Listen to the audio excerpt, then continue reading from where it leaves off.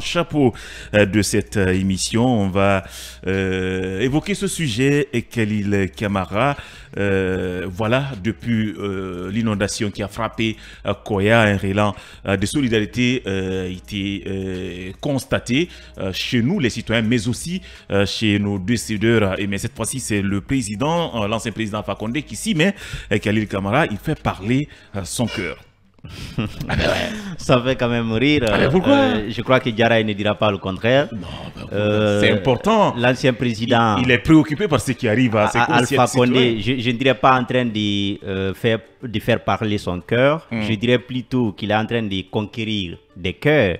Ce n'est pas pour lui-même son cœur, mais il est aujourd'hui en train de séduire, puisque déjà, vous savez, c'est un président qui n'a pas l'intention de lâcher. Mm. qui veut toujours continuer son combat politique malgré son âge, malgré, ne, voyez pas ça. malgré les, sur, cet angle, sur cet angle, on parle quand même, on parle quand même des personnes qui ont été victimes d'une inondation. Je comprends. Lorsque quelqu'un apporte, je comprends, mais j'y arrive. même si c'est un soutien verbal, c'est important. Je comprends, je comprends. C'est pour vous dire que euh, mm. tout ça, c'est politique.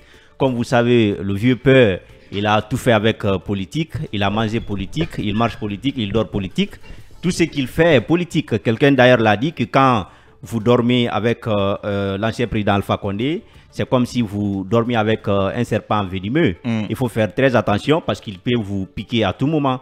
Donc je comprends que ce n'est pas dans une intention de bonne volonté, dans une intention de charité, mais c'est dans c'est fait, c'est fait pour évidemment comme je l'ai dit, essayer de gagner, séduire encore une fois des populations mm. qui ont naïvement cru en lui jusqu'à euh, à sa prise de pouvoir, jusqu'à son départ. Mm. Mais je, je, le dis parce que euh, je sais qu'il y a eu beaucoup d'inondations en Guinée. Ce mm. n'est quand même pas la première fois que nous ayons assisté à des inondations. Mm. Mais dites-moi, Ali Bangoura, combien de fois vous avez vu l'ancien président Alpha Condé offrir des, des vivres aux, victimes? Et il, a, fait le, le, cas, de, le cas de la décharge de, de Dar es Salaam où il y a eu l'éboulement il a apporté son soutien en Sierra Leone lorsque lorsque il y a eu glissement de terrain là également. il a apporté son soutien. il est dans vous, parlez vous parlez euh, euh, euh, des, cas qui sont connus de tout le monde. Ah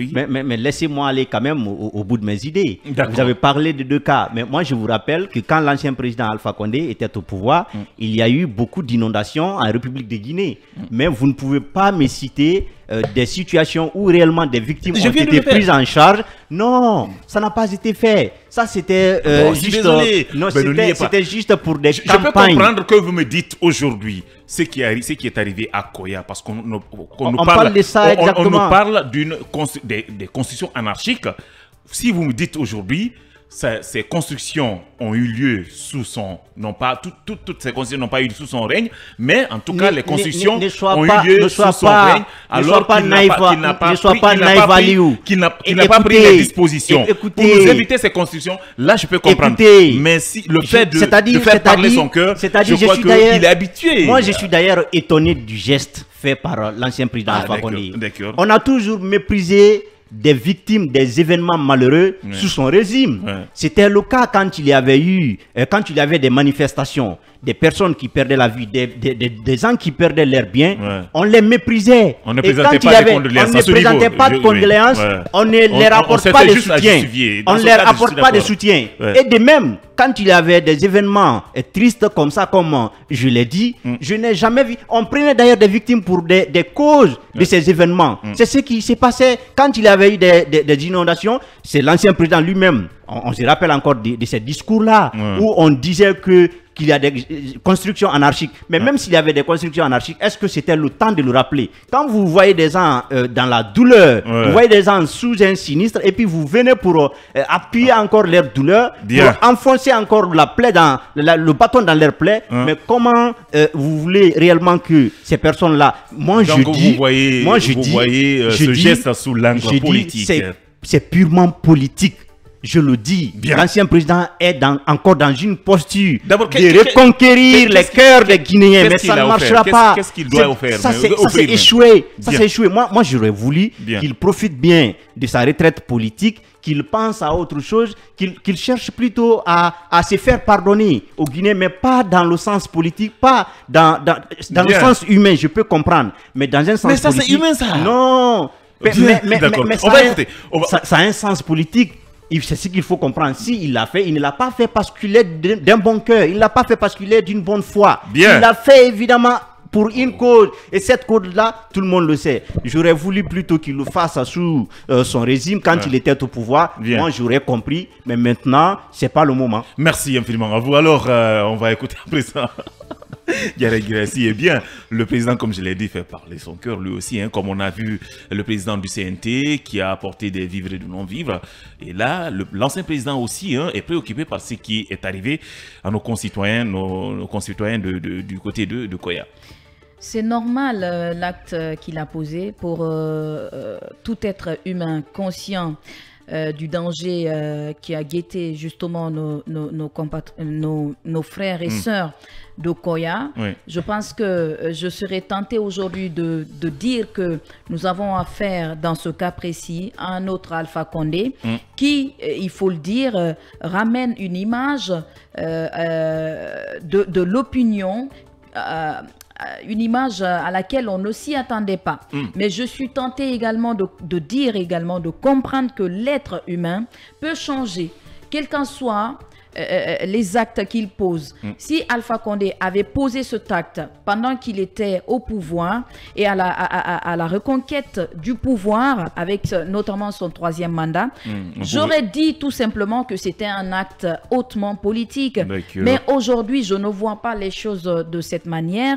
Quel qu'en soit le changement, le temps que ça prendra chez lui, moi, je comprends justement que le, président, l'ancien président, a compris que il y a eu, euh, il y a eu euh, quand même euh, des inondations du côté de Koya et ce sont des Guinéens qui sont dans le besoin, qu'il a, qu'il a dirigé, qui mm. sont dans le besoin et il a fait parler son cœur. Mm. On ne pourra que qu'apprécier son acte et encourager d'autres, d'autres bonnes volontés à aller dans le même sens que lui, puisque l'acte qu'il a posé est un acte humain. L'acte qu'il a posé mérite d'être posé mm. et aujourd'hui c'est vrai que lui, il, est venu en aide à, à, ces, Guinéens.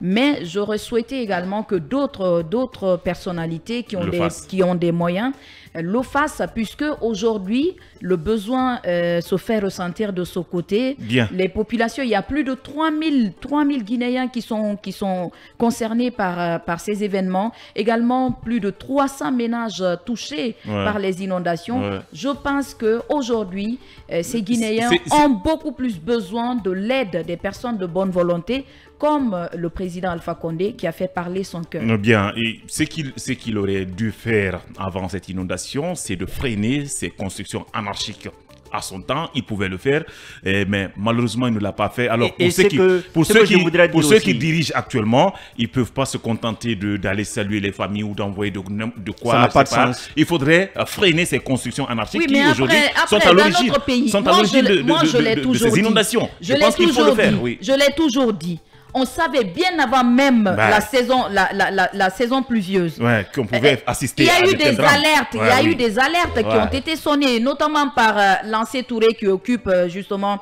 cette direction. Mm. il avait sonné des risques il avait parlé des risques qui mm. guettaient le pays. Mais après dans ce pays on n'anticipe pas. On est resté bras croisés alors que tout le monde en, était conscient que euh, à, l'arrivée de cette saison des pluies il y aura des inondations. Tout à fait. ça c'était un secret de polichinelle euh, mais après, on n'anticipe pas, on attend qu'il y ait des dégâts et pour, pour, après se précipiter. Mais c'est médecin après la mort, puisqu'il y a eu deux morts de ce côté, un qui a tenté de sauver d'autres et après qui, qui, qui, a laissé sa peau là-dedans. Je pense que c'est regrettable. Il faut anticiper. Il faut anticiper. Il faut faire des études. Vous allez voir, rien ne va être fait. On va se contenter de, de, de, ce symposium, mais après, on laisse les citoyens vivre ainsi sans prendre des mesures. Voilà. mais après, c'est toujours comme ça dans notre pays. Quand il y a des inondations, on vient en sa sapeurs-pompiers, alors que le dégât est déjà causé. Je pense que c'est assez révoltant.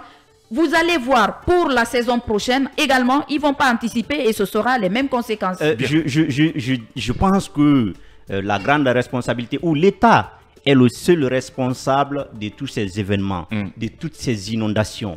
On ne peut pas occulter la responsabilité de l'État pour accuser les citoyens. Parce que euh, à, à, Liu, ah ben, écoutez, nous avons. je comprends, l'État est responsable. mais est le vous, seul personnellement, responsable. Vous, personnellement, vous devriez savoir est le là seul où responsable. Vous mettre je, vais Vous dire, je vais vous dire pourquoi l'État est le seul responsable.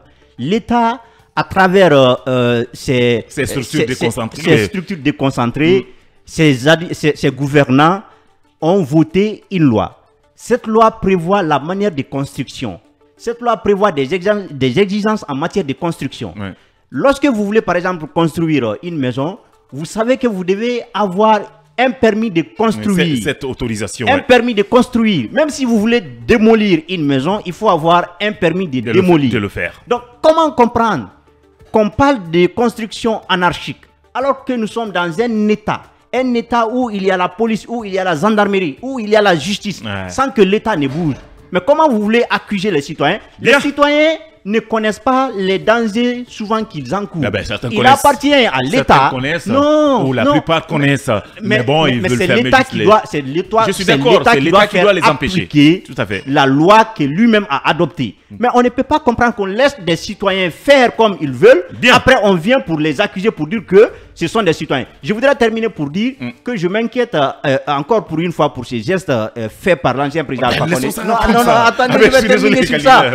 Je me demande, je me demande, c'est quand même, c'est quand même quelqu'un qui a été déchu du pouvoir, mm. délosé de son palais, sans aucun franc. Donc, je me demande aujourd'hui l'argent qu'il. Euh, non, non, mais, laissez-moi aller au bout de mes idées. Laissez-moi aller au bout de mes idées. Je dis euh. l'argent qu'il a euh, pris pour acheter ces vivres-là, où il en a eu.